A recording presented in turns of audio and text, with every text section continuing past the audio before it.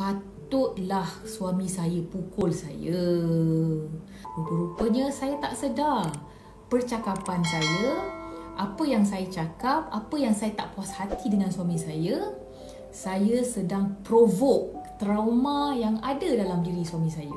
Eh, wanita bila dia dalam keadaan emosi tu yang keluar dari mulut tu apa yang dia cakap tu dia macam naga yang sembuh api itu yang menyebabkan pasangan suami tu lari selamatkan diri Itulah bila dalam keadaan ya, emosi tu macam mana nak sampaikan dalam cara yang sesuai yang buatkan uh, pasangan tak lari, suami tak lari, suami faham dan dia nak improve, nak berubah. Hmm. So ramai juga wanita yang bila dia ada tak puas hati sebab keperluan anda tak dipenuhi sebab anda pun tak tahu keperluan anda apa. Hmm. Ramai wanita dia tak tahu apa-apa dia nak. Dia tahu tak puas hati je. Dia tahu sakit hati je. Ha, dia tak tahu. Bila anda dah tahu apa keperluan anda, so anda boleh sampaikan pada suami anda apa keperluan anda dan anda boleh bina sama-sama dan kita belajar pula macam mana nak bina balik tu yang menyebabkan keperluan anda dipenuhi. So bila keperluan anda dipenuhi, keperluan suami dia dipenuhi, tak adalah gaduh tu. Kadang gaduh tu punca pukul memukul ni sebab ada benda yang tak dipenuhi. Bila dah dipenuhi, tak adalah gaduh tu.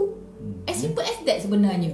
Ha, isu sekarang bukan suami pukul, bukan apa. Isunya adalah Kenapa? Ramai wanita dia tak sedar bila dia tak puas hati dengan suami, dia provoke. Provoke. Ha. Dia provoke suami dia, dia tak sedar. Dia tak sedar dia minta ditampar.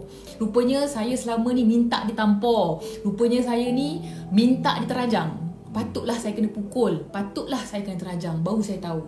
So ramai wanita dia tak sedar sebab you terlalu sakit dan you tak ada ilmu untuk menyampaikan kesakitan you tanpa provoke keegoan suami. Ha, nak-nak lelaki ada yang jenis yang panah baran.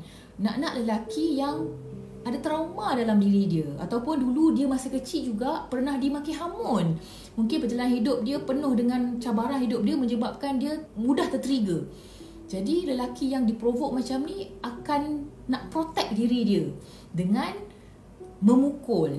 Ha, eh, psikologi orang yang suka memukul ni walaupun dia bukan ketagih, bukan mabuk arak, normal lelaki yang normal ni, tetapi bila diprovok secara automatik akan pukul, akan lempar, akan cekik.